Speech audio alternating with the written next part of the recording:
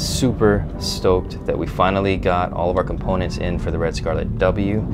Took her out to the North Shore just for a few hours the other day and had a blast. Had a blast. We didn't have any talent in script, any bounce boards, or anything like that. We just really took the camera out to see what it would do um, in some natural conditions shot with the Tokina Cinema lenses, the 16 to 28 and the 50 to 135 with a couple of IR-ND filters and the Bright Tangerine Misfit Atom matte box um, just kind of clamped onto the front there. Like to keep it kind of tight for, for beach shooting, not, not too much lens changes to avoid salt and sand and, and dust and all of that. Um, but that's it, standard OLPF, no changing, nothing.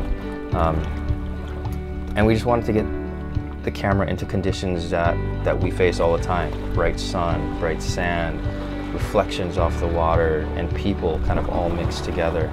Lighting conditions that change with the clouds, and some, some high speed overcrank footage as well.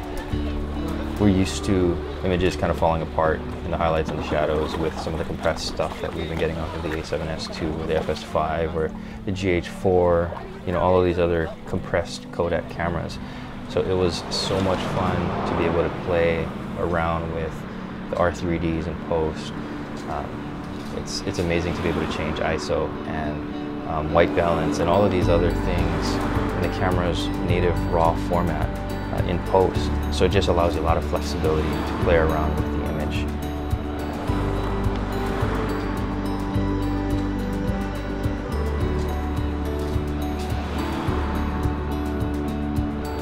This isn't meant to be a cinematography reel of any sort.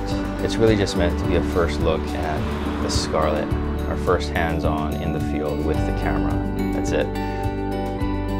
So if you have anything else that you want to see or hear about the camera, anything you want us to test, please leave a comment below, leave a question, um, and we'll get to all of those uh, in, in some upcoming episodes. We'll obviously be testing out more skin tones and specific attributes of the camera when we have a little bit more time.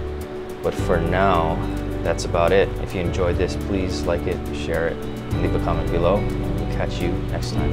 Aloha.